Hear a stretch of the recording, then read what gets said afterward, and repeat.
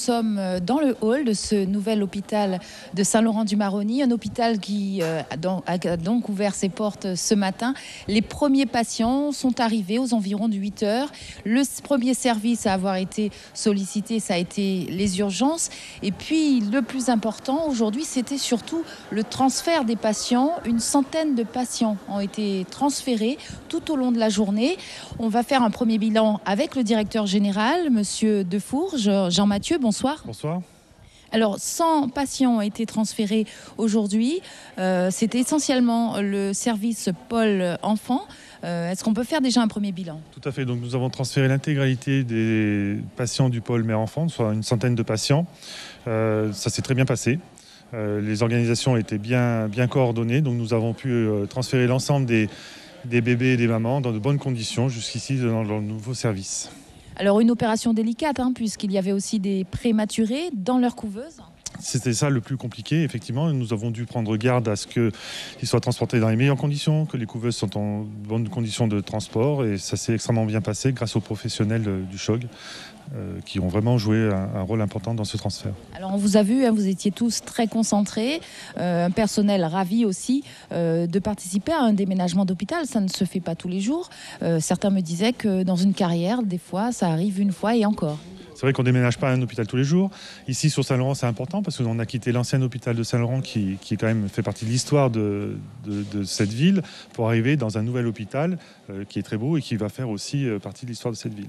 Alors un hôpital qu'on attendait depuis longtemps, depuis une dizaine d'années déjà dans les cartons, euh, avec quatre grands pôles importants, la dialyse, la chimio, euh, mais également la réanimation pour les petits. Et puis, j'ai oublié le quatrième pôle. Alors, nous avons, en fait, c'est des nouvelles activités qui sont mises en place ou qui seront mises en place. Donc, effectivement, des services importants comme la réanimation néonatale qui n'existe pas actuellement à, Saint-Laurent, euh, qui impose des transferts de, des enfants sur euh, Cayenne, un service de, soins continus adultes, et ensuite euh, un service de, chimiothérapie, effectivement, puisqu'on pourra délivrer des traitements aux anticancéreux aux patients ici à Saint-Laurent, et un service de dialyse puisque pareil, les patients qui nécessitent des dialyses sont obligés d'aller sur Cayenne. Donc ça fera vraiment un confort tout particulier pour ces patients.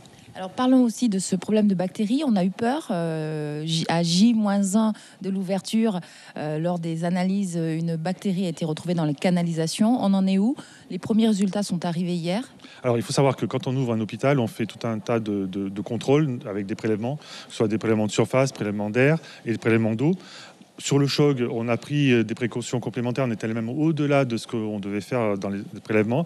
Et on a découvert qu'il y avait une bactérie qui s'appelle le Pseudomonas, qui est une bactérie qui existe dans un peu partout, mais qui est embêtante pour certains patients très particuliers, tels que les patients, euh, les grands brûlés ou les patients immunodéprimés que nous n'avons pas au CHOG. Donc en fait, ce n'était pas bloquant pour le déménagement. Nous avons pris des, précautions standards et, importantes, telles que distribution de bouteilles d'eau, on ne boit pas l'eau du robinet, on fait couler l'eau, on fait des purges, et puis on va installer des filtres à tous les robinets qui permettront d'avoir zéro bactérie à la sortie. Donc pour l'instant, on peut dire que pour les patients, il n'y a aucun risque Non, il n'y a aucun risque. Les, patients sont formés, les soignants pardon, sont formés, et donc il n'y a, a pas de risque.